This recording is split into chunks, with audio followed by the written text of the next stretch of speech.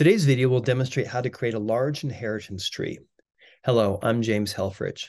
Designing a large inheritance tree is all about having a good plan. More specifically, about making sure every level has a specific semantic meaning.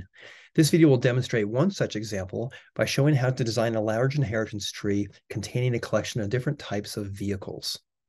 So there's a few best practices when we're working with large inheritance trees. Number one is every base class should map to a design concern.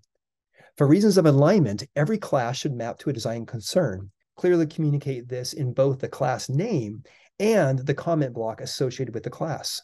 Second, do not worry about balancing an inheritance tree. There is no disadvantage to an unbalanced inheritance tree, either from a technical standpoint or from a maintainability standpoint. Artificially balancing a tree can result in an inferior design. Next, each level of an inheritance tree should mean something. Levels in an inheritance tree are not created for programmer convenience, but rather because they map to a design concern. Next, unambiguously communicate the meaning of each division in an inheritance tree. What does the base class at this level mean? How can another programmer know if the base class belongs at this level? Those are the questions we should be asking. And finally, choose base class names carefully. The old adage holds if you cannot name something, you probably don't fully understand it. This is a good indicator that the design process needs to pause until clarity is reached. So let's take a look at an example.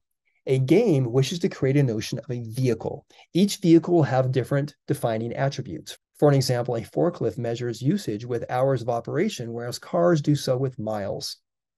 There are approximately a thousand plus different types of vehicles that this game will work with. Now, the first step is to come up with a strategy for the inheritance tree.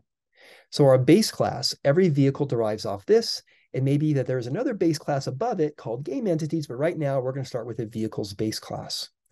Next is the medium in which the vehicle travels, and this might impact the physics models. Next, we have the function of the vehicle. What purpose does this vehicle serve? How does it interact with other game entities? Next, we'll have the environment. Are there restrictions where it can be found? Can it move anywhere or not? And then we'll have the style. What is the design style of this vehicle? This impacts how passengers interact with it and other things.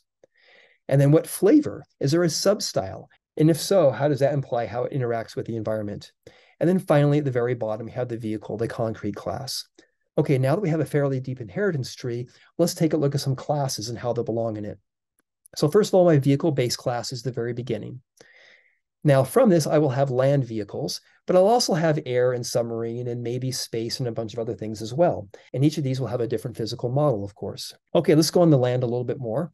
So we have things that transport people, but we also have things that transport things like a like a forklift, and we have stuff that pulls stuff like a tractor. And there could be many different types of functions.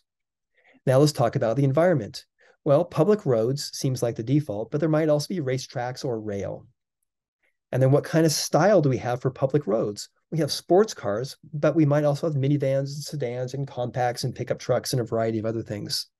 What flavor? For my sports car, I'll have hypercars, but I might also have GTs and muscle cars as well. And finally, my concrete class. I'll have my Bugatti Huracan, but also Bugatti Chiron and a Rimac Nevera. And now that I have a, a strategy for each level, it's very easy for me to add new derived classes and base classes to extend my vehicle class as the game requires. This was example 38.3 in the large inheritance tree chapter of the software design textbook.